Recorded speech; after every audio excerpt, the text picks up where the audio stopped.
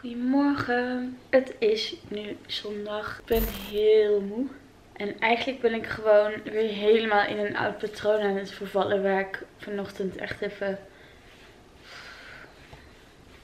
Sorry. Ik vind het echt vreselijk om in een vlog te huilen. En ik doe dat nooit. Behalve die ene keer dat ik oprecht dacht dat ik dood neer ging storten in Italië. Ik vind het namelijk altijd heel flauw als mensen dat gebruiken als clickbait. En het voelt een beetje als een nieuwe trend of zo. Dus ik doe dat nooit en het voelt ook veel te kwetsbaar. Maar tegelijkertijd denk ik, ja, shit, het is vlogmas. Ik deel nu gewoon elke dag mijn leven en dit hoort er ook bij. Sinds ik terug ben van vakantie zit ik weer mezelf zo vol te plannen en gek te maken met werk. Dat ik weer helemaal terug in mijn oude patroon ben van veel te veel druk op mezelf leggen en dan in een soort ontwijkmodus gaan zitten. Ik word daar gewoon een beetje emotioneel van, omdat ik steeds dezelfde valkuilen bij mezelf herken. Ik weet dat heel veel van jullie ook moeite hebben met dingen loslaten, met te hard werken. Je hebt misschien ooit de burn-out video gezien over vermoeidheid bij twintigers. Dat is iets waar heel veel jonge mensen mee te maken hebben. Dat ze de lat te hoog leggen. Dat ze zoveel energie in werk stoppen dat ze niks meer voor zichzelf overhouden. En ik herken dat heel erg van mezelf. En dat is natuurlijk ook een luxe probleem in die end. En alles vind ik super leuk om te doen. En alle stukjes passen goed bij elkaar. En ik ben er echt super trots op en dol op mijn werk. De hele dag over dingen beslissen en creatief zijn. En dat kost soms gewoon echt best wel veel energie. En ik denk dat veel van jullie dat wel herkennen. Wat je ook voor werk doet. Of misschien focus je je wel op iets anders op het moment. Maar ik weet niet. Ik heb dan gewoon soms het gevoel dat ik weer terugval in dat patroon. En in die fase waarin ik echt niet nog een keer wil belanden. En dan word ik weer boos op mezelf. Dus dat is even wat ik dan nu allemaal voel. ik hoop dat het een samenhangend verhaal is.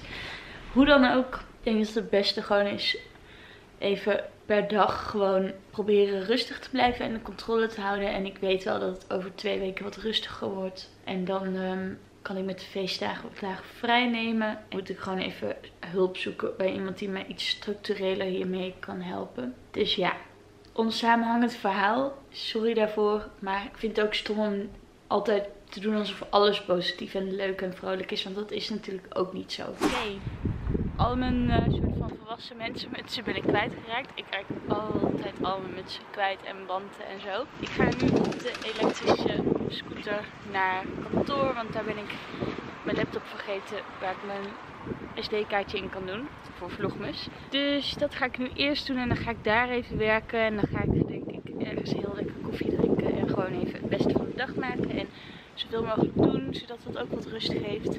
Komt allemaal goed natuurlijk. Een hele lekkere nieuwe jurk aan. Ik heb wel wat dingetjes gekocht in de Black Friday sale. Ik zal even kijken of ik een soort mini shoplog kan doen of iets. Het is van Edited. Ja, je ziet me gewoon als één zwarte vlek nu. Hij is zeg maar gebreid met een spikkeltje erin. En dan bijna helemaal tot aan de grond. Met hele lange mouwen ook. Echt heerlijk. Alsof je je gewoon in een sok bevindt. Wat je natuurlijk wel wil in het leven. En dan ook nog een slaapzak aan hebt gedaan. Dat is.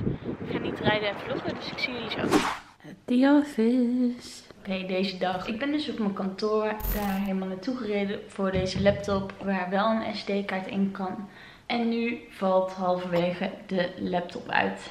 Dus kan ik ook niet verder. En moet ik weer naar huis. Ik heb hier altijd een laptop op laten liggen. Maar om de een of andere reden nu niet. Misschien heb ik die onbewust mee naar huis genomen. Ik heb geen idee. Dus ik ga gewoon weer vrolijk terug. Oh my god. Dit geloof je niet. Mijn laptop gaat niet meer aan. Dit is geen goed begin voor Vlogmas. Ik ga nu naar mijn vader toe die in Amsterdam is. En dan kijken of ik met zijn computer iets kan versturen. En dan morgen een ding kopen wat in mijn MacBook Air kan. Waarmee ik wel een kaart kan lezen. Dat. Dit is een flinke uitdaging. Ik hoop dat het hierna helemaal anders gaat met Vlogmas. En nu ben ik even pannenkoekjes aan het bakken, bananenpannenkoekjes. Daar had ik heel veel zin in. En ik dacht, moet toch iets eten dan gewoon iets lekkers. Ze mislukken dus altijd bij mij.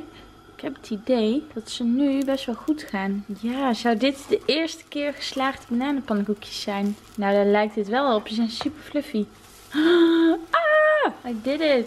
Ik heb nu wat meer meel gebruikt en twee eieren. Dus dat scheelt ook. Sorry, een beetje moeilijk te vloggen en pannenkoeken te flippen tegelijkertijd.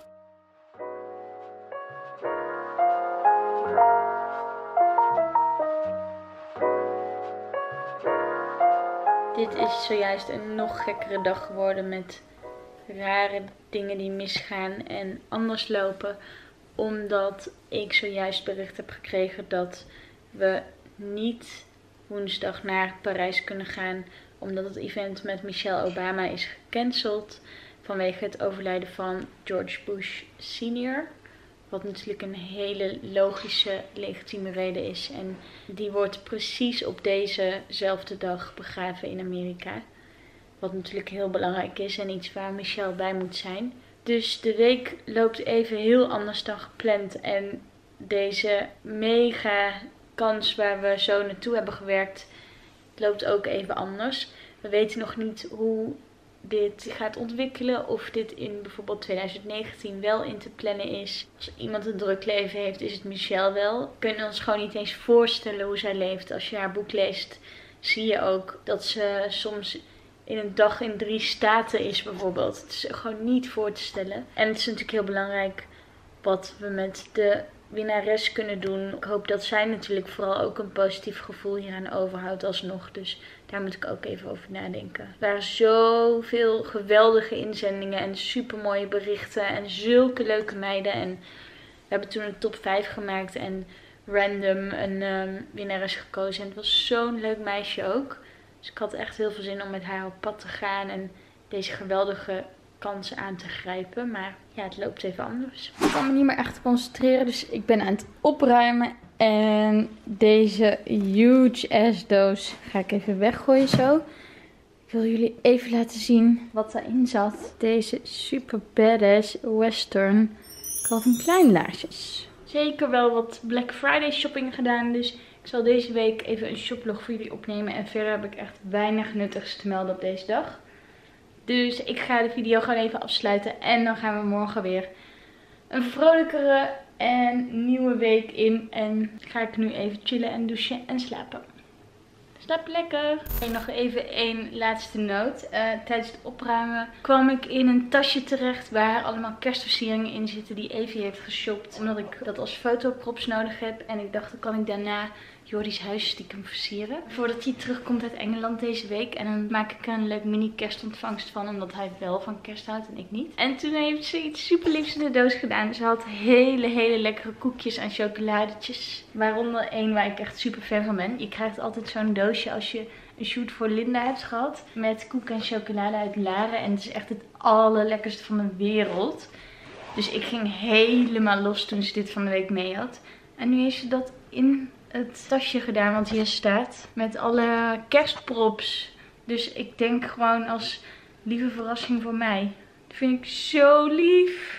Ik ben helemaal ontroerd. Ik vind het zo schattig. Zulke lieve meiden die bij mij werken. Ik ben elke keer echt helemaal dol op ze. Dat maakt het werk echt wel heel leuk ook. Dus nu heb ik nog meer zin om ze morgen te zien. Echt heel lief. Wat een beetje chocola niet kan doen met de mens. Oké, dat was het. Doei.